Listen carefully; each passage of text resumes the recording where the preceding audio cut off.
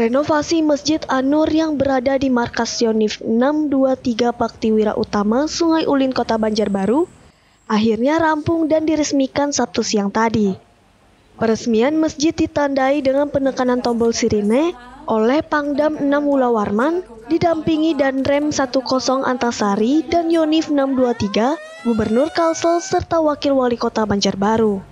Masjid An-Nur sendiri direnovasi sejak November 2017 lalu dengan menghabiskan dana senilai 1,5 miliar rupiah lebih dari swadaya prajurit bantuan Pemprov Kalsel, Pemko Banjarbaru, serta rekanan lainnya.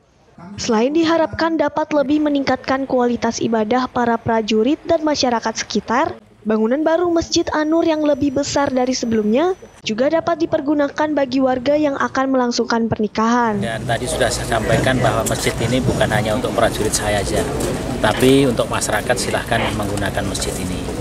Ini sudah dibikinkan pintu, kalau tadi disampaikan oleh Pak Gubernur mungkin akan seger lewat di depan penjagaan, nah di sini silahkan lewat yang sudah dibikin intinya ini masjid kita bersama bukan hanya prajurit tapi untuk masyarakat ini juga masjid ini tadi disebutkan masjid yang terbesar di kawasan Sungai Ulin tadi ya ini mudah-mudahan banyak manfaatnya membawa berkah bagi eh, TNI dan masyarakat di Sungai Ulin dan Kota Banjarbaru.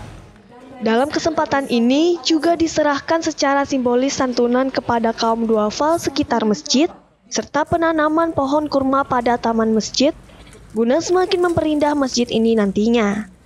Banjarbaru TV, Roni Latar melaporkan.